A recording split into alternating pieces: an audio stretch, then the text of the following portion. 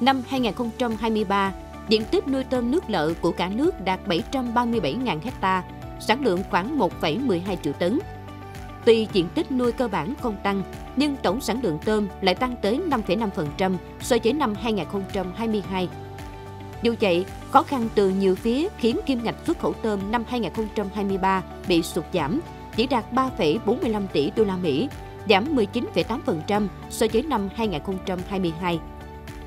Sang năm 2024, dự báo những khó khăn về ngành tôm vẫn còn. Tuy nhiên, tình hình về ngành tôm được các chuyên gia nhận định sẽ có bước tăng nhẹ từ 10% đến 15%, dự kiến thu về hơn 4 tỷ đô la Mỹ.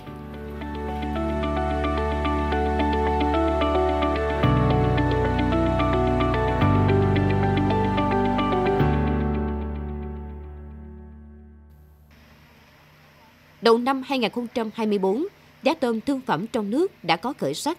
Tuy nhiên, ngành tôm vẫn phải đối diện với nhiều khó khăn do tình hình thời tiết diễn biến bất thường. Giá vật tư đầu vào vẫn neo ở mức cao, nguy cơ dịch bệnh tiềm ẩn rất lớn.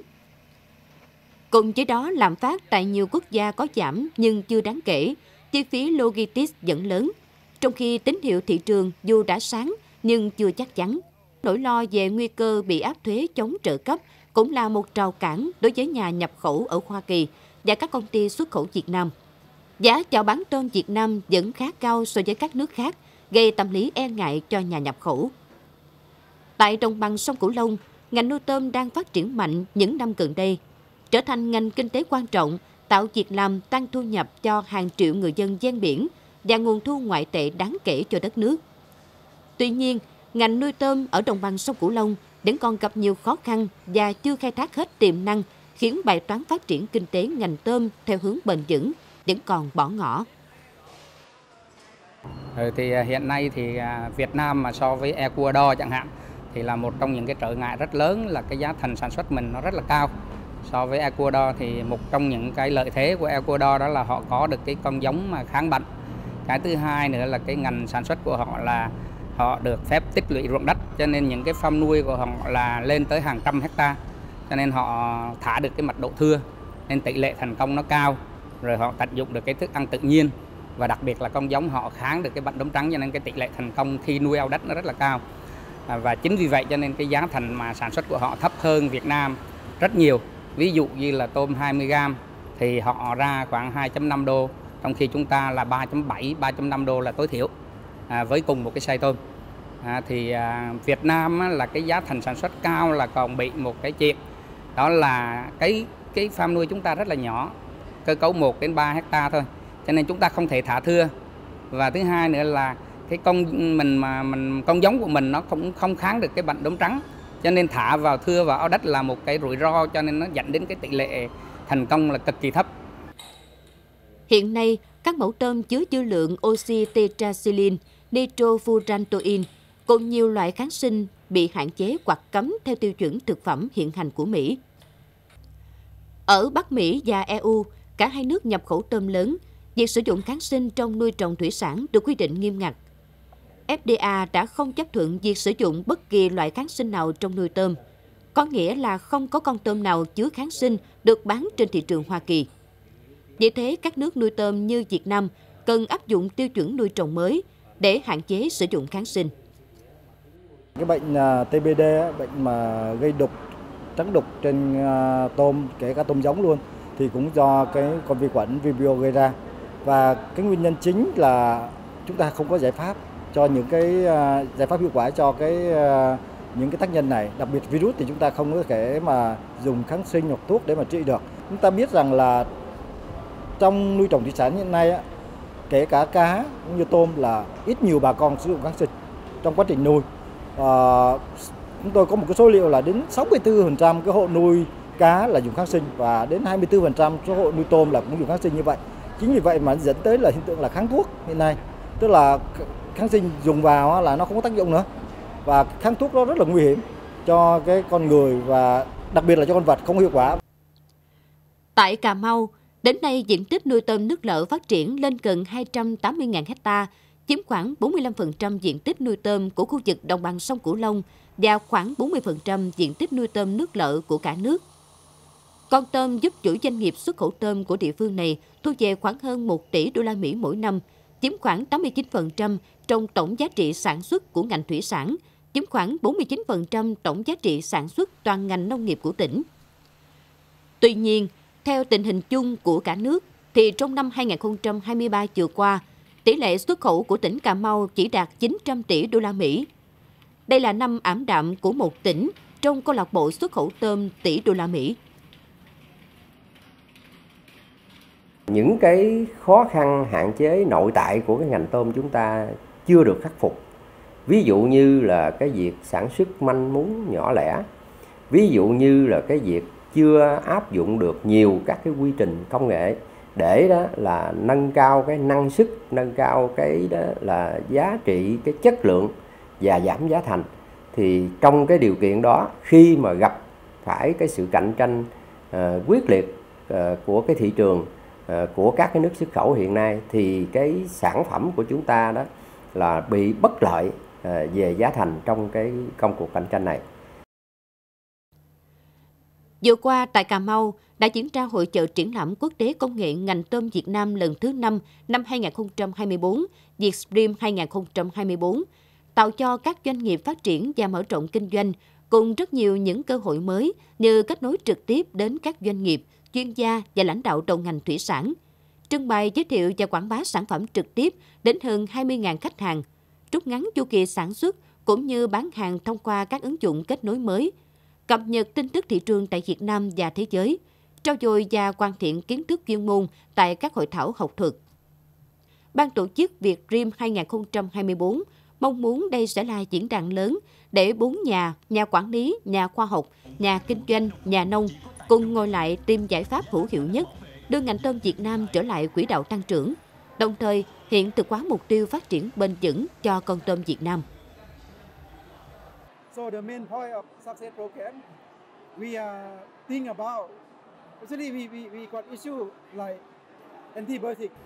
Thực tế, chúng ta gặp rất nhiều vấn đề trong nuôi tôm ở Việt Nam, đặc biệt là hiện trạng tồn dư kháng sinh trong tôm.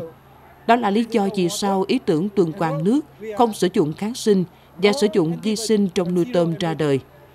Ở Việt Nam, người nuôi tôm khá quen thuộc với mô hình BioBlock, nhưng mô hình Success của chúng tôi sử dụng mô hình semi-BioBlock. Chúng tôi đảm bảo môi trường thuận lợi và giảm thiểu các yếu tố gây stress cho tôm nuôi. Sức đề kháng của tôm tốt thì tôm có khả năng chống chịu các yếu tố bất lợi về môi trường và dịch bệnh. Dựa trên sức tải của hệ thống ao nuôi, các kỹ thuật viên sẽ đưa ra các tư vấn hợp lý để tăng tỷ lệ thành công như giảm sức tải bằng cách sang thưa hoặc thu tỉa.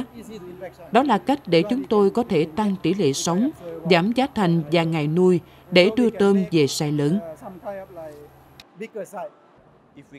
Nếu như mà chúng ta quản lý à, giữ được cái chất lượng nước tốt á, thì chúng ta có thể tăng được cái tỷ lệ sống sót của tôm và một điểm nó quan trọng đó thì chúng ta có thể tăng được cái mật độ nuôi tôm như thế nó sẽ mang lại lợi nhuận nhiều hơn cho người nuôi. Theo chiến lược phát triển thủy sản Việt Nam đến năm 2030, tầm nhìn đến năm 2045, Chính phủ yêu cầu nhanh chóng quy hoạch dùng nuôi tôm theo từng quy mô, từng địa phương nhằm phát triển xanh bền vững. Bởi khi quy hoạch hoàn thiện sẽ giảm rủi ro trong việc nhiễm chéo, cung ứng đủ nước nuôi cũng như trong việc xử lý nước thải nuôi nhằm hạn chế tác động xấu đến môi trường. Chúng ta nên làm những cái hội thảo đầu bờ. Chúng ta có những cái tổ chức à, làm hình thành những cái hợp tác xã nuôi tôm để gom những cái người nuôi nhỏ đó thành một cái hợp tác xã nhỏ hoặc là một cái nhóm nông dân. Tiếng Anh nó gọi là farmer group. À, và trên cơ sở những cái cái nhóm đó thì chúng ta nên mời những cái chuyên gia thực tiễn những cái người hoặc là những cái farm nuôi giỏi. À, à, mà có cái quy mô lớn họ nuôi thành công lớn. À, nhà nước nên có một cái nguồn tiền để để trả cho những chuyên gia này hoặc là trả cho những farm nuôi thành công này để họ tới họ chia sẻ và họ giúp những cái farm nuôi nhỏ lẻ. Đến nay diện tích loại hình nuôi tôm nước lợ tại tỉnh Cà Mau đã đạt hơn 6.600 hecta phần lớn nuôi tôm thẻ chân trắng với nhiều công nghệ khác nhau chủ yếu là thay nhiều nước phải xả thải ra môi trường theo ngành nông nghiệp tỉnh, với công nghệ nuôi hở phải thay và cấp bù nước liên tục, chất thải trong nuôi tôm phải đưa ra bên ngoài, ảnh hưởng không nhỏ tới môi trường nuôi của những nông hộ chung quanh. Chưa nói bùn thải lượng thức ăn dư thừa, lượng phân do tôm thải ra khi chưa được xử lý đúng cách, sau một thời gian dài tích tụ, còn sản sinh ra nhiều chất độc hại. Đó cũng là những nguyên nhân khiến nhà nông tốn thêm nhiều chi phí để xử lý nguồn nước trong suốt quá trình nuôi tôm thăm canh, siêu thăm canh. Vì thế, trong nhiều năm qua, ngành chức năng tỉnh Cà Mau không ngừng nghiên cứu để tìm ra quy trình nuôi tốt nhất, giúp người nuôi tôm áp dụng đại trà, trong đó có hình thức nuôi không xả thải, giúp giảm giá thành sản xuất. Bên cạnh cái việc quan tâm đầu tư cho quy hoạch thì chúng ta cũng phải đó là tuyên truyền, hướng dẫn cho người dân tổ chức sản xuất sao cho nó phù hợp với cái điều kiện là quy hoạch mới, phù hợp với cái khả năng đầu tư hạ tầng của nhà nước, của doanh nghiệp, của người dân. Để sao cho đó là mặc dù đó là có thể chúng ta đầu tư hạ tầng nó chưa kịp thời, nhưng cái sản xuất của chúng ta vẫn có thể thích ứng được với biến đổi khí hậu. Đó là chúng ta áp dụng nhiều các cái quy trình công nghệ kỹ thuật mới theo cái cái hướng thuận thiên. Và chúng ta đó là áp dụng các cái quy trình sản xuất sao cho nó phù hợp với cái điều kiện tự nhiên của từng vùng à, trong cái bối cảnh có cái tác động của biến đổi khí hậu. Và như vậy đó thì chúng ta có thể tạo ra được các cái sản phẩm mà nó đáp ứng được cái yêu cầu cho xuất khẩu trong cái bối cảnh có thể là chúng ta đầu tư hạ tầng thủy lợi chưa kịp thời. À, có thể là tác động của biến đổi khí hậu nó nhanh hơn. Từ khi ờ, sở khoa công nghệ đưa cái dự án này để nuôi thử nghiệm tôi ờ, tiếp cận cái dự án này vận hành. À, tôi thấy qua một vụ vừa rồi thì cái tốc độ tôm nó phát triển rất, rất là tốt. Cái giảm được những cái chi phí cơ bản chẳng hạn như là những cái chi phí của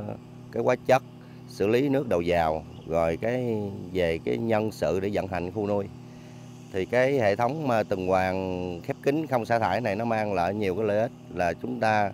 giảm được cái tiền kháng sinh, tôm nít dịch bệnh và bảo đảm được cái môi trường phía bên ngoài mình không xả thải. Mình dùng phân của tôm, mình đẩy qua ao bay ao lóc từ ao bay ao lóc nó sẽ đẩy qua bên ao cá rô phi mình có thêm một nguồn thu nhập cá rô phi rồi từ cá rô phi nó sẽ cho qua hệ thống ba cái ao gông, nó sẽ trả qua lại cái hệ thống nuôi tìm ra mô hình thuận thiên đã khó duy trì và mở rộng càng khó hơn theo đó cần có sự đầu tư về hạ tầng giao thông thủy lợi nhằm đáp ứng nhu cầu sản xuất tiêu thụ hàng hóa hiệu quả nâng cao giá trị gia tăng và sức cạnh tranh của sản phẩm, góp phần xây dựng nông thôn mới. Từ đó việc nhân rộng mô hình sẽ lan tỏa rộng khắp. Những sản phẩm nông nghiệp thuận thiên ngoài giá trị hữu hình của nó còn là cái sự đóng góp vào để bảo vệ môi trường, bảo vệ hệ sinh thái, ờ, bảo vệ bảo tồn cái đa dạng sinh học này. Thì đó là một cái tư duy của cái nền tăng trưởng xanh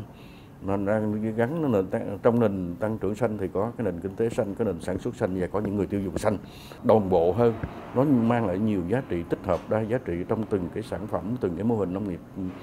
thuận thiên ví dụ lúa cá lúa tôm chẳng hạn ờ, tôm dưới cái ờ, ờ, hệ rừng sinh thái ngập mặn chẳng hạn thì tất cả những cái giá trị nó là những giá trị tích hợp cũng là thực hiện theo cái nghị quyết 19 của ban chấp hành trung ương đảng về chuyển từ tư duy sản xuất nông nghiệp sang tư duy kinh tế nông nghiệp, chuyển từ tăng trưởng đơn giá trị đơn ngành thành tăng trưởng đa giá trị đa ngành. Cũng nhờ vào sự đầu tư công nghệ hiện đại nhưng vẫn đảm bảo đủ các tiêu chí chất lượng, nên dù phải chịu sức ép cạnh tranh mạnh mẽ từ tôm giá rẻ của Ecuador, Ấn Độ, Indonesia, tôm Việt Nam vẫn có thể đứng vững, thậm chí chiếm thị phần lớn nhất trên thị trường quốc tế so với các quốc gia khác. Bài toán tăng trưởng xuất khẩu của ngành tôm Việt Nam cũng như khu vực đồng bằng sông Cửu Long vẫn còn nhiều yếu tố. Một trong những giải pháp cụ thể chính là giá thành và cần phải có sự tham gia quyết liệt từ các cơ quan bộ ngành địa phương chủ trương những biện pháp bình ổn các chi phí đầu vào cho sản xuất như giá thức ăn nuôi tôm, tăng cường kiểm soát chất lượng con giống, nhằm mục đích giảm giá thành, tăng lượng xuất khẩu cho ngành tôm.